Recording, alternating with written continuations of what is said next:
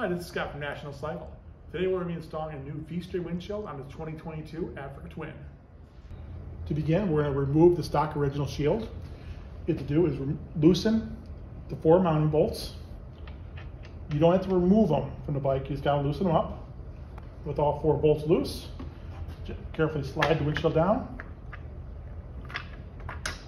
and pull it off.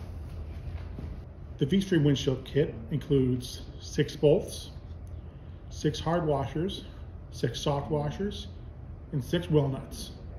Now to install the new VStream windshield, stack the two washers on the outside of the windshield, slide the bolt through the windshield, attach the well nut on the other side.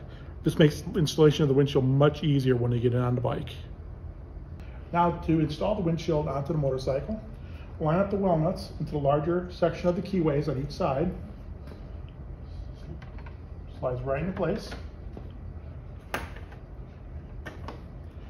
Lift it up. And you'll feel a little bit of a pop. That way you know you're in place.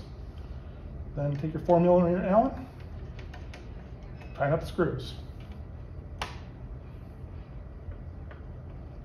iron windshield installed. It's very simple, but a very big upgrade for your Africa Twin. For more information on this product and other products by National Cycle, visit our website at nationalcycle.com. Thank you very much for watching and enjoy your ride.